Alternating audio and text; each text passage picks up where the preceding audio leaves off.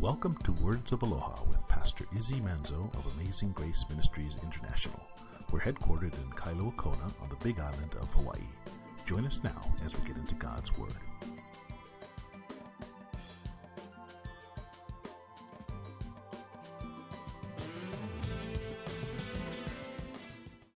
Paul is now going to say to the church some really simple things, but things to, to warn them. As he's going to, he's closing this letter. Now, in this letter, guys, he is, he is never been to Rome yet.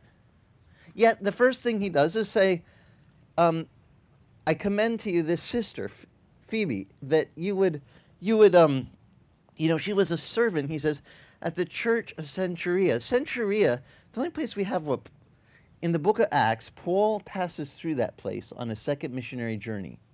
And the only reason I remember this is in, in Acts um, 18 18, he, he gets a haircut in that town. That's the place where he took a vow. It says he was, he was taking the love gift back toward Jerusalem, and for some reason he made a vow to the Lord. And in their culture, you know, when they made the vow, they would shave the hair of their head all the way down and, and, and offer that to the Lord and say, okay, now it's, it's like kind of like new, new goings, you know, new beginnings. The, I, I vow I'm going to do this, and here.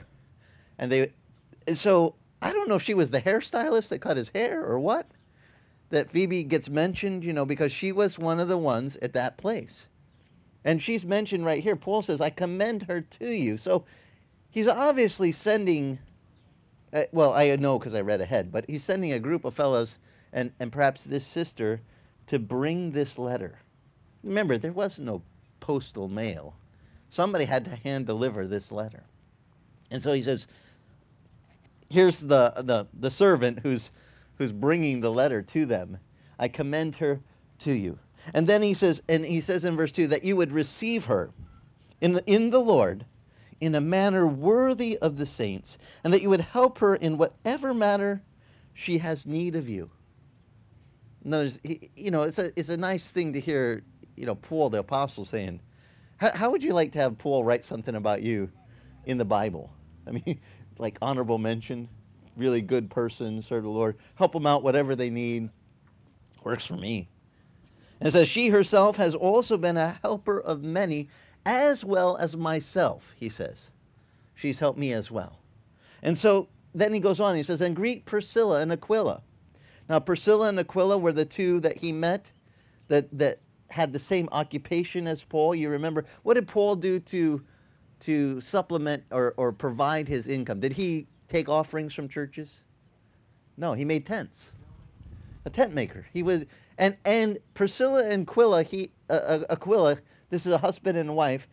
We read about them in the book of Acts. I'm just summing up. This is the, I won't go into detail on the rest, I promise. But these first few, you know, they have a little bit more about them.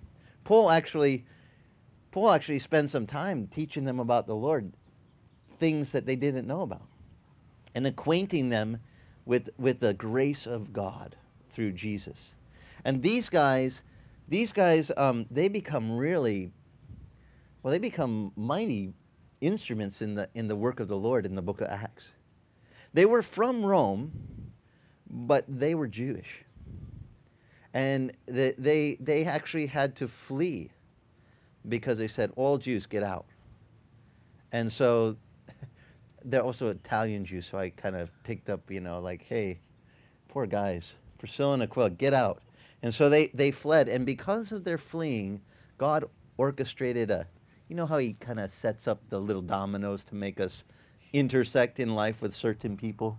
This is what he did with these two. He put them right into Paul's path, and they got to come to salvation in a, well, in, in a deeper understanding than they had already. And so Paul says these two risked their lives, their own necks, he says, and to whom, he says, do I give thanks? but also not just me, but also do the churches of the Gentiles. Because these two went on and really started sharing about the faith that we get to have as Gentiles in Christ. And so then he says, and also he tells them to greet the church that is in their house. Now, Priscilla and Aquila, remember, they didn't have church buildings back then. They did, they did church in the home. You know, when we get rained out, by the way, that's what we do. We go to my house. And some are like, oh, you poor thing. It's like such a strain. You have the church in your home. But you know what? In the early church, that's all they did. They went from house to house. And they and they enjoyed they enjoyed that there's something sweet about having church in a home. It's different than having it like in a building or or even I mean, I gotta admit we have the best wallpaper. But but this is, you know, but from my house, you can look at from my lanai and see this. Actually, I look right down. We, we know what the weather is down here because we just we live right over there on the hill, and we look down and we look at it and go, okay. If it's raining, we can see from the house. If I can't see the old airport because it's all hazed out, I'm like, it's raining. Don't have to come down to check. So we, you know, there's just that sweetness. That now these two had a church in their house, and church is not a building. Jesus said, Where two or more gather in my name, there I am in the midst. All churches is about is us gathering in the name of the Lord. Whenever we come together, that's church. And you can do that in your home with other believers. You can do that just you can be out here on the beach.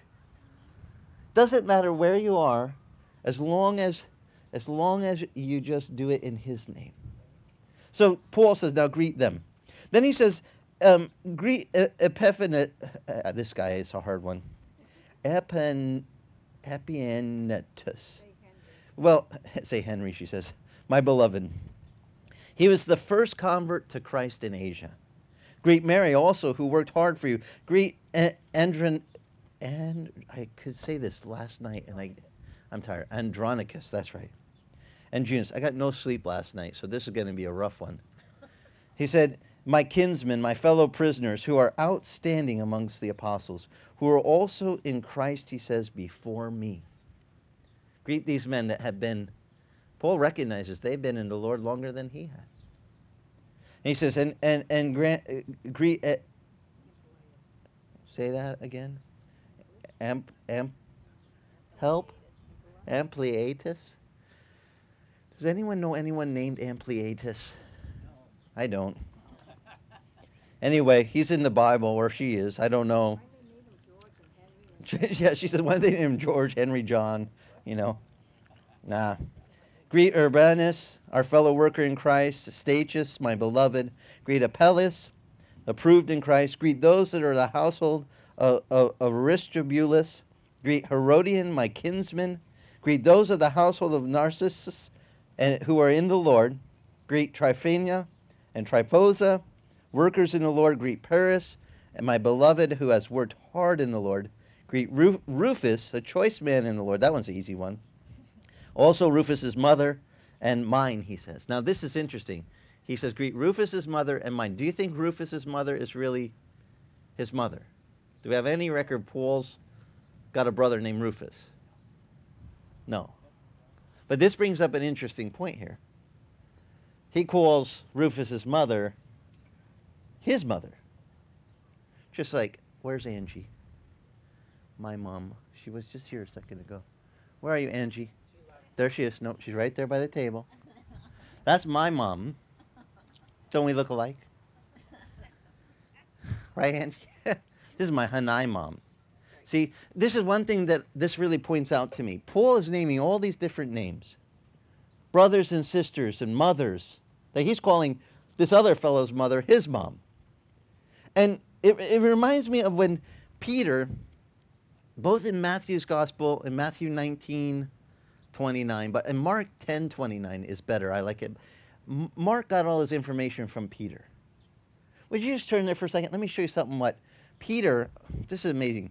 Peter says to the Lord, he's hearing the Lord talk to the to this rich uh, ruler and the and and the guy um, he's kind of like going, "What do I have to do to get saved?" and and uh, to have everlasting life. And, and Jesus says, Why do you call me good? This is Mark 10, verse 18. He says, Why do you call me good? He says, There's no one good except God alone.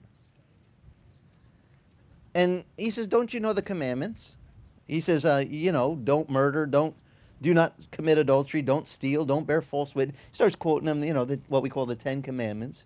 He, he says, and um, Don't defraud. Honor your father, your mother. And th- listen to what this young man says. He says to he, he says, "Teacher." Really, in Hebrew, he says, "Rabbi." Rabbi, I have kept all these things from my youth up.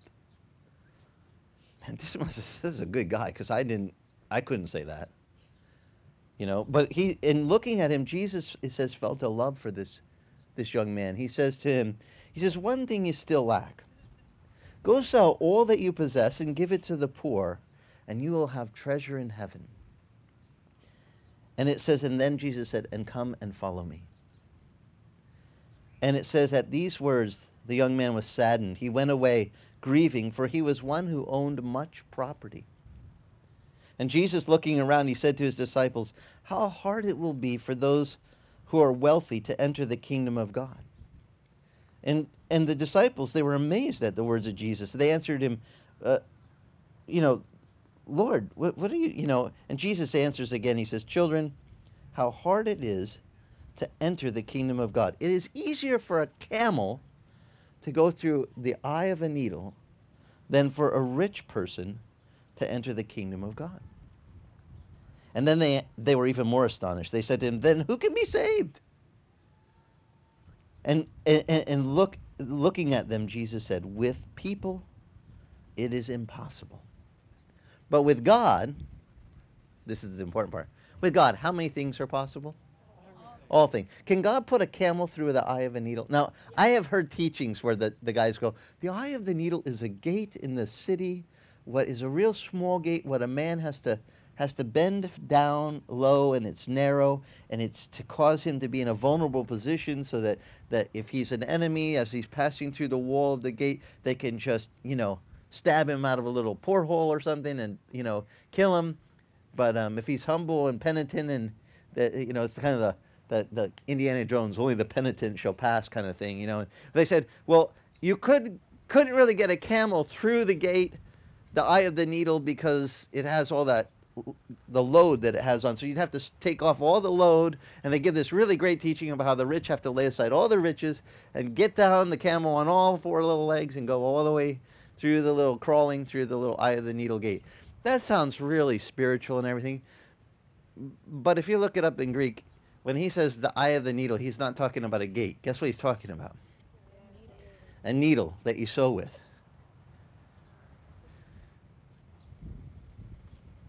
when they heard his words, if it was just a gate that you had to get the camel, take off its stuff, and get him through, they wouldn't be so amazed. They'd be like, ah, oh, it's a pain, but we could do it. But they, their answer was what? How can you be saved then? I mean, a camel through an eye of a needle. It just can't, their, their mind's blown. We can't do this. And he says, that's right. With men, can't do. It's impossible. But with God, how hard is it for God to take a camel and do like in the cartoons, you know? Can you just picture it in your mind, you know? Special effects, easy, right? Just camel over here, needle here. Camel goes hair by hair through the needle, pops out on the other side and back. Reassembled. Ta-da! Camel. With God, it's not impossible. With us, it's impossible. But we serve a God that can do the impossible. So no big deal. Now they're just they're just like scratching their head going, "Oh." And the rich they I'm sure that they saw the reaction of that rich young man going, "Whoa, this is you want me to sell everything and give it to the poor and come follow you?" I mean, and he went away saddened because it's like I can't do it. And Jesus is saying it's hard for someone who's rich to come follow him, to leave those riches and, and, and, and put their perspective on something longer, longer run, eternal. Now, someone who doesn't have much, to the poor, the gospel's easy. I mean, in fact, this is a great message of hope. We're poor now, but we won't always be poor. Right? In my Father's house, Jesus said, there are many what? Mansions. And I go to prepare a place for you. Man, when you're poor, you're thinking, I got a mansion waiting for me. That's the message of the gospel. That's pretty good. But when you own a bunch of mansions, and you're told, oh, yeah, get a mansion, but, you know, I already got a bunch of them. What's the big deal? And I need a savior for what? Well, save me from what? I can buy my way out of anything, you know? I mean, to the really ultra wealthy, it doesn't seem like they have the same problems we have, do they? And Jesus said it's hard for them to perceive that there's still a need for their everlasting salvation. Their soul still needs saving. But to someone who experiences need every day, when you say to somebody who has grown up poor and they have suffered need day in, day out, and you say, hey, by the way, you also need a Savior for your soul, they go, yep, I can relate to that because they're used to relating to other needs that they have. And so Jesus says, look, it may seem impossible with men, but this is this is possible with God. Then Peter piped up, verse 28. He Peter said, no, you know Peter, right? Wet socks Peter, open mouth, insert foot. He's always saying something he shouldn't say. And this time he says, Lord, we have left everything to follow you. We're so spiritual. Me and John, Andrew. We all we all like joined the club. We're we're the ones that had left everything. We're we're with you, Lord. And and what and, and Jesus says, Truly I say to you. If you have a King James Bible, it says verily, verily. Verily means truly, by the way, just in case. Truly I say to you, there is no one who has left house or brothers or sisters or mother or father or children or farms for my sake and for the gospel's sake, but that he will but that he will receive a hundred times as much now in this present age houses, brothers, sisters, mothers, children, and farms, along, he says, with, oh, I wish you wouldn't have put this in. Did you see that? Starts with the, the P word, right? Persecutions. And in the age to come, he will receive what? Eternal life. But many, Jesus says, who are first will be last, and many are last shall be first. Now, a lot of people know the last shall be first, first shall be last part. They just don't know the verse before that. That in this life, Jesus, you know, Peter's going, we left it, we left it all for you, Lord. And Jesus goes, I tell you the truth. There's nobody that has left house, mother, brother, sister, I mean, the whole family gamut. There is nobody has left any of that stuff that will not receive back in this life a hundred times more. And notice he does say, houses, brothers, sisters. You left the house to serve the Lord? Lord goes, I got you. You left mothers, brothers, sisters? I got you. And you know what's really sweet? When I look at Paul, what he's writing here, he's saying, Greet Greet Rufus, that choice man in the Lord, and greet his mother and mine also. He just got an extra mom. In fact, he's got mother, brother, sister. Look, I mean, here in his greetings, he's greeting all these different names are people. And if you don't know this in, in, in your Christian faith yet, one of the coolest things about our Christian faith is that we get we get to have extra family from the Lord. And you know what's kind of cool is some of you are going, thank God, because my family, my real family, the one I was born into, yeah, they're messed up. And you didn't get a choice about them, right? You were stuck with them from birth. You just like born into, you're like, God, why did you let me be born in that family? You know, we got some real broken eggs, or, you know. There's some, I, I can't use some of the verbiage I comes to mind. But you know, you get the idea, right? We don't we don't choose the earthly family we're born into. One of the sweet things about being in the Lord, though, is that God goes, you know what? If you leave even your earthly family to come follow me, and some of you have had to do that. You've had to say to your earthly family, look, I'm going to go follow the Lord. And, and you got mocked. I know I did. When I, when I first came to the Lord, my dad was like, son, you're wasting your brains following God. You, you know, you need to become a, a doctor, a lawyer, or, you know, he wanted me to be one of those prominent positions in life. And I said, well, Dad, I'm going to be a, a preacher. That was like, boo, you know, especially when you're not following the Lord. That's not. Now, later he would come to Christ, and then all of a sudden I was okay. Not great, though. Doctor would have been, doctor, preacher, maybe that would have been okay with him. I don't know. But not just some guy sharing the gospel all the time. I mean, come on. Couldn't you do something more with your mind? You're just you're just letting it go to waste and I'm thinking, "No. This is the greatest thing I could do with my mind." Is Mahalo for joining us. If you'd like more information about us, go to our website, amazinggracekona.com, and click the link to follow us on Facebook. That's amazinggracekona.com. Mahalo and God bless.